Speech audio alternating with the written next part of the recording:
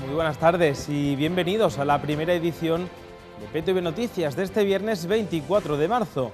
La coordinadora andaluza de las Mareas Blancas espera una participación masiva en la manifestación en defensa de la sanidad pública que se celebrará mañana en todas las provincias andaluzas.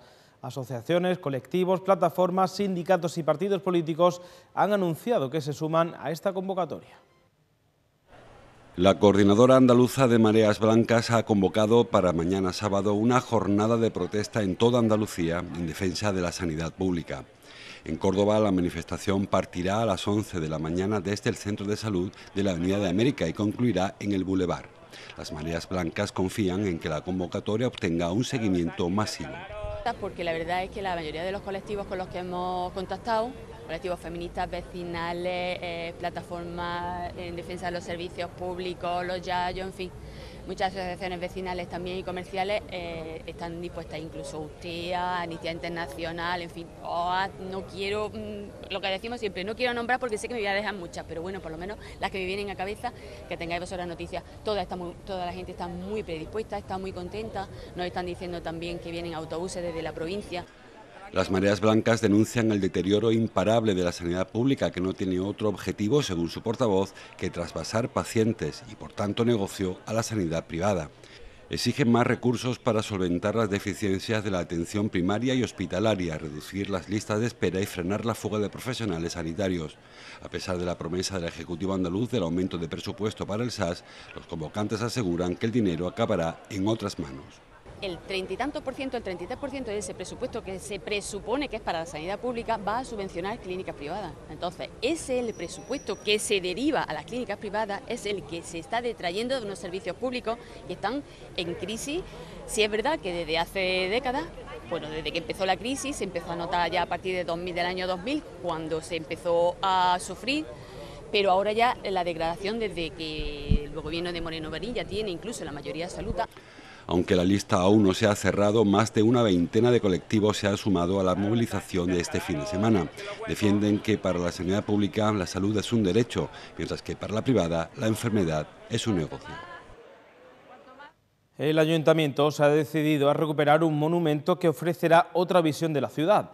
El próximo lunes comenzará la cuenta atrás para que cordobeses y visitantes puedan acceder al templo romano dentro de aproximadamente un año. Las actuaciones en el Templo Romano empezaron en el mandato anterior al de José María Bellido, con Isabel Ambrosio como alcaldesa, y quedaron paralizadas en 2021. Este lunes, la Junta de Gobierno local aprobará el contrato del proyecto de terminación de su puesta en valor. La fase de obra civil debe comenzar a finales de mayo, una vez se adjudicará y durará al menos ocho meses, por lo que los responsables de la Gerencia Municipal de Urbanismo emplazan a estas fechas de 2024. En los elementos materiales del templo, es decir, fundamentalmente la anastilosis que había hecho Félix Hernández, don Félix, y bueno, pues eso está ya adelantado ese trabajo. Y ahora lo que, lo que hay es que culminar la, la actuación para que pueda ponerse en carga de inmediato eh, este, este, este, nuevo recinto, que ya lo iba, lo iba pidiendo después de 70 años. El templo romano será accesible para todos con esta restauración completa, que incluye un centro de interpretación. A través de una escalinata se podrá recorrer todo el lateral del ayuntamiento y acceder a la cota superior, una gran explanada desde donde se podrá imaginar cómo era la visión de la ciudad en la época romana. Nosotros estamos mucho más bajos de lo que tenía la, de, la cota que, en la que estaba la ciudad en, su momento original, cuando estaba el templo en vigor. Entonces, esa marca que vais a ver de diferenciación en los ladrillos, justamente esa diferencia de, niveles, ¿vale? Luego se va a recuperar toda la cota de lo que llamamos el pronao, que es la parte que alberga ese espacio de entrada al templo rodeado por esas columnas, y el visitante va a poder acceder a él. Va a poder acceder a él y va a poder llegar también a lo que era la explanada previa delante de la, del, templo y, y, con la que tenía vista sobre el gran circo que había en toda la zona que ocupaba San Pablo, Oribe y esa, y esa parte. El presupuesto asciende a 751.000 euros y será financiado con fondos Next Generation de la Unión Europea, aprovechando el programa del Gobierno de España que otorgó 3 millones a cada una de las 15 capitales integradas en la red de ciudades Patrimonio de la Humanidad. 63 policías locales de toda Andalucía han recibido hoy en Córdoba medallas a la Orden del Mérito Policial. El acto ha sido presidido por el consejero de Presidencia, Antonio Sanz, quien ha expresado su confianza en la pronta finalización del trámite parlamentario de la nueva Ley de Policías Locales de Andalucía. El consejero de Presidencia Antonio Sanz ha presidido el acto de entrega de las condecoraciones de la Orden del Mérito Policial, medallas y cruces con distintivos verde, blanco y plata a 63 policías locales de Andalucía, ocho de ellos cordobeses. El acto que se ha celebrado en el Centro de Exposiciones, Ferias y Convenciones es, según Antonio Sanz, una muestra de apoyo, respaldo y admiración hacia el trabajo de estos servidores públicos. Eh, además de este reconocimiento que es evidente que, viene a mostrar eh, ejemplos actitudes ejemplares de muchos policías locales, no solo durante la pandemia, sino permanentemente garantizando la seguridad de los ciudadanos, eh, desarrollando una labor humanitaria, salvando vidas, como hoy vamos a reconocer aquí en muchos de los ejemplos. incluso, bueno, pues vamos a condecorar a los policías locales que, fueron los que detuvieron eh, el último caso de Algeciras.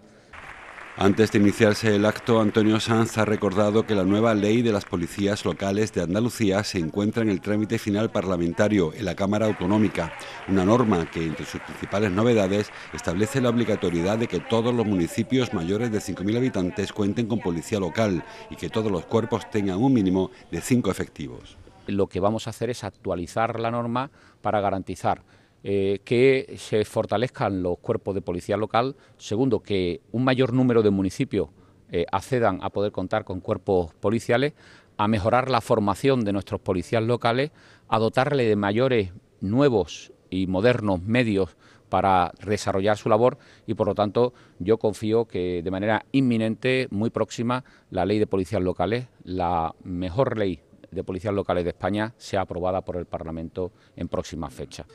En Andalucía hay alrededor de 10.000 policías locales que prestan sus servicios en 500 municipios, una plantilla escasa para 8 millones y medio de andaluces que la nueva ley intentará aumentar. Sanz ha destacado que solo los últimos cuatro años se han formado en el Instituto de Emergencias y Seguridad Pública de Andalucía, el IESPA, casi 1.200 nuevos agentes.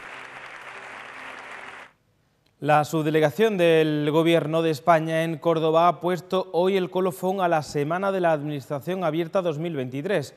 Los ciudadanos han podido visitar el edificio y conocer cómo trabaja la Administración General del Estado. La Semana de la Administración Abierta 2023 se ha desarrollado en la provincia de Córdoba con más de una docena de actividades dirigidas a acercar las administraciones públicas a la ciudadanía desde los principios del Gobierno abierto transparencia, rendición de cuentas, participación ciudadana, integridad pública y colaboración. Se trata de una iniciativa impulsada a nivel mundial por la Alianza para el Gobierno Abierto. En España, la Semana de la Administración Abierta está coordinada e impulsada por la Dirección General de Gobernanza Pública, dependiente del Ministerio de Hacienda y Función Pública, con la colaboración del Foro de Gobierno Abierto. La subdelegación del Gobierno de España ha abierto sus puertas a los cordobeses esta mañana para que conozcan tanto el edificio situado en la Plaza de la Constitución como el trabajo de los principales departamentos y unidades de la institución. Durante esta semana, la Guardia Civil de Córdoba ha organizado jornadas en municipios de la provincia como Benamejí, Palma del Río, Pozo Blanco, Hinojosa del Duque y Montemayor. También han participado Correos, la Delegación Provincial de la Agencia Tributaria, la Jefatura Provincial de Inspección de Telecomunicaciones y el Ministerio de Agricultura, Pesca y Alimentación. El primer Congreso Mundo Senior se está celebrando hoy en Córdoba. El Jardín Botánico es el escenario de actividades y ponencias sobre el presente y el futuro. El Jardín Botánico reúne a la Junta Directiva de los Centros de Participación Activa de Mayores en un encuentro donde se dará valor y sitio a los temas que preocupan y ocupan a un colectivo cada vez más numeroso y con más expectativas de vida y por lo tanto con más actividades para realizar. La tribu Educa y el aula intergeneracional de mayores de la UCO han puesto el acento en darle cabida en este primer congreso celebrado en nuestra ciudad a una serie de puntos donde el aprendizaje de todos en diversas áreas será lo principal para saber las mejoras a realizar y las necesidades reales que tienen los sernios de Córdoba. Eh, en este foro de hoy vamos a hablar de cosas que a las personas que, tienen ya una edad que son personas senior, personas que, han dejado de trabajar y ahora están disfrutando de, sus jubilaciones, haciendo cosas y, aprendiendo cosas que les gustan. Eh, también quieren seguir aportando a la sociedad su experiencia y en este caso en aquellos temas que a ellos más les incumben. Esos son los temas que van a tratar hoy con distintos especialistas a lo largo del día vamos a poner de relieve eh, todos aquellos aspectos de la vida de las personas, fundamentalmente de las personas mayores, todas aquellas dimensiones que les afectan mm, primordialmente a partir de esa edad. Eh, pues la salud, pues eh, mm, las diferentes posibilidades de vivienda que pueden abordar las personas, también la economía, que de alguna manera es fundamental para poder seguir viviendo, la brecha digital la tocaremos también, las relaciones intergeneracionales, los apoyos familiares. Salud, economía, viajes, entretenimiento y hobby, conocimientos y deporte activo, materias que están seguros los organizadores de esta primera cita serán del gusto de todos los participantes.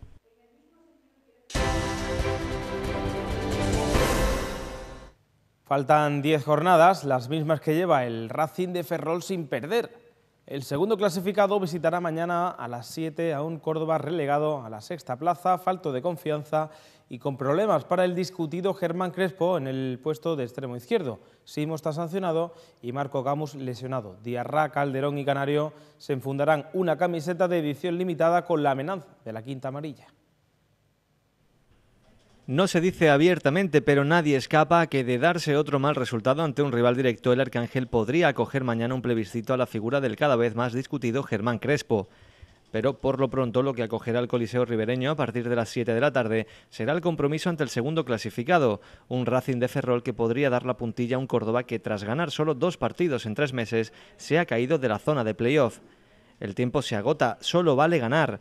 Para ello necesitarán más que nunca su afición, a la que rendirá homenaje con una camiseta especial que además promocionará Andalucía como destino turístico por excelencia. Esto es fútbol, esto es, al final los resultados es lo que mandan y, bueno, dependiendo del resultado que, haya, pues me imagino que el club tomará, tomará una decisión, ¿no? Pero, pero ya digo, yo afronto el partido como, uno más, con, con las ganas de, conseguir tres puntos y, es ahora mismo el pensamiento que tengo. El técnico del Córdoba no podrá contar mañana ni con Simo por sanción ni con Camus por lesión para recibir un Racing que va lanzado. El equipo dirigido por el cordobés Cristóbal Parralo es segundo, tiene 52 puntos, está a solo 4 del Alcorcón y acumula una racha de 10 partidos seguidos sin perder, con un balance de 6 victorias y 4 empates. Su última salida fue un aviso de lo que le espera al cuadro blanquiverde, victoria por 0 a 1 en Santo Domingo frente al líder. La diferencia entre ambos es de 5 puntos, de ahí que de no ganar se dispararían todas las alarmas. Pero de hacerlo, el Córdoba se aseguraría su primer averaje favorable ante rivales directos después de cederlos ante Celta B y Real Madrid Castilla, lo que al final de liga podría dar un plus para conseguir el objetivo. En Amalata, el resultado final fue de empate a uno. Córdoba y Racing de Ferrol abrirán mañana el fuego del ascenso, un capítulo que seguirá el domingo con partidos a tener en cuenta. En la matinal del domingo, el Alcorcón recibirá al Ceuta y el Real Madrid Castilla visitará la Balompédica linense, mientras que para las 7 de la tarde quedará el partidazo de Riazor, el derbi gallego entre el Deportivo y el Celta B. El Pontevedra, rival del domingo 2 de abril a las 7, jugará el domingo a las 4 frente al Rayo Majada Honda en el Cerro del Espino.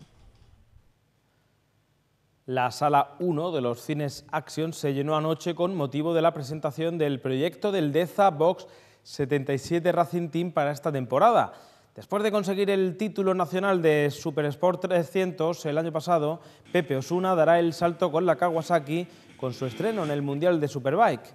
La nómina de pilotos, bajo la supervisión técnica de Luis Castro, se completa con Andreas Ibaja, Sergio López, Tomás Marín, Iván Bolaño, Iván Muñoz y Antonio Torres. Las balas verdes afrontan ya el frenético calendario de 2023 el próximo fin de semana, el circuito de Jerez, Ángel Nieto, dará el pistoletazo de salida al Campeonato de España de Superbike. La primera prueba del Mundial será en la Catedral, el mítico circuito holandés de Assen, el fin de semana del 22 y el 23 de abril. Y apuntamos ya los horarios de fútbol sala, fútbol y balonmano. El balón echará a rodar hoy mismo a las ocho y media en el pabellón Jorge Garbajosa de Torrejón de Ardoz donde el Córdoba Patrimonio de la Humanidad se medirá al Inter en la jornada 24 de la Primera División. Bueno, eh, seguimos en una, en una posición eh, más que complicada en la, en la, tabla y nos enfrentamos a, a un rival que, que, a priori, sin a priori, es evidente que, que, no es de nuestra liga, ¿no? y muchísimo menos en, en este momento. Pero la realidad es que eh, en el deporte está, está más que demostrado que, que todo puede pasar. En el grupo 3 de la segunda división femenina, el Deportivo Córdoba debe recortar nueve puntos en los seis últimos partidos para salvarse. El desafío del conjunto entrenado por Salvador Chía arrancará este domingo a las doce y media frente al Cádiz y en un escenario diferente, el pabellón universitario Menéndez Pidal, ya que Vista Alegre estará ocupado por el festival de videojuegos Play Córdoba Game Fest. El Córdoba ve ya es equipo de playoff, pero quiere más, el ascenso directo a Segunda Federación. El 1-0 al Antoniano en el Arcángel ha dejado al filial dos puntos del líder y con el golaveras particular ganado, con solo 360 minutos por delante. El domingo a las 6, el cuadro dirigido por Diego Caro finiquitará la vigésimo séptima fecha del campeonato en Bollullos. El Pozo Blanco jugará en Cartaya mañana a las 5 y el Saler Puente Genil en Conil media hora más tarde mientras que el domingo al mediodía tendremos un nuevo derby provincial, Ciudad de Lucena, Atlético Espeleño. Lo comentábamos en la previa de la semana anterior, todo lo que queda son, son finales, son partidos importantes y este uno más, ¿no? Eh, un Bollullos que viene, como bien has comentado, de ganar eh, bien al Saler Puente Genil, que se lo está jugando todo, por lo tanto nos está diciendo que que va a ser un partido de máxima dificultad, ¿no? Además en su campo, que bueno, es un campo pequeño, el terreno de juego está en, malas condiciones, el césped ya estaba programado incluso para, cambiarlo, por lo tanto nos vamos a encontrar un, rival que si nosotros no, no somos el, equipo que, hemos sido muchas, muchos partidos fuera de casa, pues nos va a costar sacar los tres puntos, ¿no? Por su parte, el Córdoba femenino vuelve a la ciudad deportiva apurando sus opciones de permanencia en Primera Federación. Es penúltimo y está a siete puntos del objetivo cuando solo restan siete encuentros. Mañana a las doce y media recibirá el Deportivo de La Coruña, segundo clasificado por detrás del Barcelona B. Octavo en la liga, pero eliminado de la Copa del Rey a las puertas de la final a 8. El Ángel Jiménez Puente Genil retoma el pulso de la Soval este sábado. A las ocho y media visitará el Logroño La Rioja, séptimo en el primero de los diez capítulos definitivos del torneo. Es turno ya para conocer el pronóstico meteorológico para mañana y repasamos la agenda del IMAE para este fin de semana.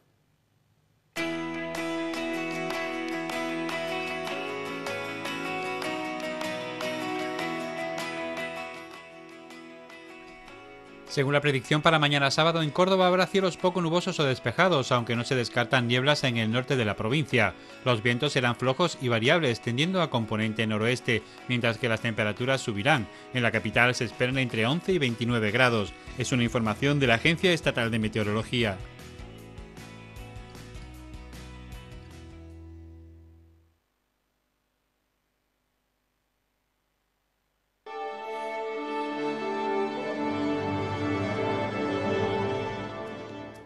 Esta semana el Instituto Municipal de las Artes Escénicas de Córdoba nos brinda los siguientes espectáculos. El jueves 23 a las 8 de la tarde la Orquesta de Córdoba ofrecerá en el Gran Teatro su séptimo concierto de abono, Suite de Melodías Inglesas, con Catherine Larsen Maguire como directora invitada y piezas de tres de los compositores británicos más extraordinarios del siglo XX, Britten, Tippett y Vaughan Williams. Las entradas cuestan entre 7 y 23 euros, con notables descuentos para jóvenes de hasta 30 años, mayores de 65 y desempleados. El viernes 24 a las 8 de la tarde, Pasión Vega recorrerá el mapa sonoro de Federico García Lorca por los caminos de la música y la palabra en el Gran Teatro. Aunque callaran su voz, hay un Lorca sonoro que resonará siempre los ecos de la memoria. Pasión Vega resucitará a Federico poniendo la voz a unos poemas encarnados por el actor Víctor Clavijo. Las localidades están a la venta por entre 13 y 45 euros. Y el domingo 26 a las 12 de la mañana, Etcétera llevará el patito feo al Teatro Góngora. A partir del cuento original de Andersen, publicado en 1843, la compañía de teatro, música y títeres pretende subrayar el valor de la familia y la pertenencia a un grupo, y reflejar la autoestima y la confianza en uno mismo por encima de lo que piensen los demás. Las entradas cuestan 6 euros. Disfruta y regala cultura. IMAE Córdoba. Con nuestra oferta de incomparables ya no volverás a comparar con otras compañías. Te ofrecemos un giga de fibra más Zap y Televisión por solo 19,95 euros al mes, sin permanencia, sin ningún tipo de compromiso, solo el nuestro hacia ti. Y por si te pareciera poco, además puedes añadir una línea móvil desde 5,95 euros. No dudes más y llama ya al 1650, somos incomparables. Hacemos un paréntesis hasta las dos y media cuando vamos a profundizar en la actualidad blanquiverde en todo CCF. PTV Noticias vuelve a las ocho y media con su segunda edición presentada por Raúl Díaz. Ahora nos marchamos con la actuación de la orquesta de Plectro, Ciudad de los Califas, en la inauguración de la exposición fotográfica de Córdoba Incluye. Hasta ahora. Thank you.